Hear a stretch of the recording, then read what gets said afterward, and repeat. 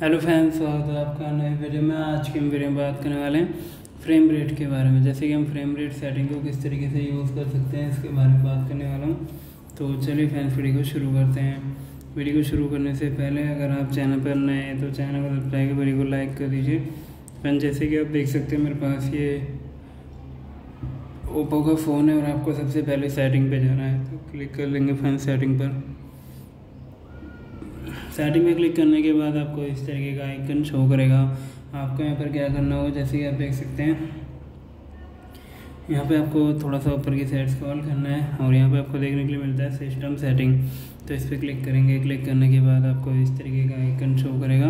आपको यहाँ पर क्या करना होगा, जैसे कि आप देख सकते हैं।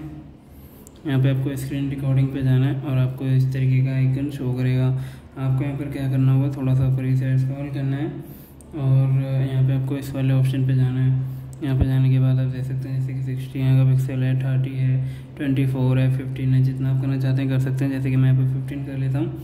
और फ्रेंड्स अगर आपको ऐसे समझ में नहीं आता है तो एक और तरीका है, उसके बारे में बताता हूँ। सबसे पहले आपको क्या करना है सेटिंग पर जाना है, और आपको इस तरीके का आइकन शो करेगा। आपको यहाँ पर क्या करना होगा, जैसे कि आप देख सकते हैं सर्च वाले ऑप्शन पर जाएँगे, और आपको यहाँ पर सर्च कर लेना है। क्या सर्च करना होगा, जैसे कि आप देख सकते हैं फ्रेम रेट तो यहाँ पर शो हो जाएगा। थोड़ा सा वेट करना होगा।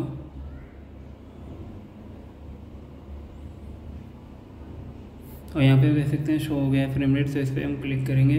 क्लिक करने के बाद आपको इस तरीके से आइकन शो करेगा, इस पर क्लिक करेंगे और यहाँ से सिक्सटी करना चाहते हैं, थर्टी करना चाहते हैं, जितना आप करना चाहते हैं कर सकते हैं। इस तरीके से यूज़ कर सकते हैं। तो उम्मीद है फ़ैन वीडियो पसंद आएगी। वीडियो पसंद आए तो चैनल को सब्सक्राइब वीडियो को लाइक कर दीजिए।